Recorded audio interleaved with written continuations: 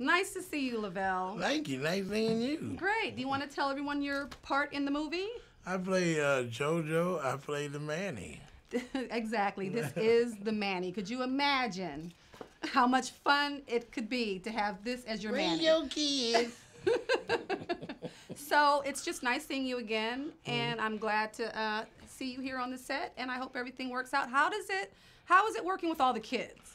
Uh, I think the kids are wonderful. Some of them got a little body odor, but they nice kids. They Really? sticky fingers, Yeah, weird, you know, kids. kids. And some of them steal, you know. but you know, we're gonna work that out. We're Yeah. gonna we're gonna Gonna pat 'em all rebaptize them. Yeah, yeah, I yeah, think yeah. one of them possessed, but we ain't gonna say nothing about it.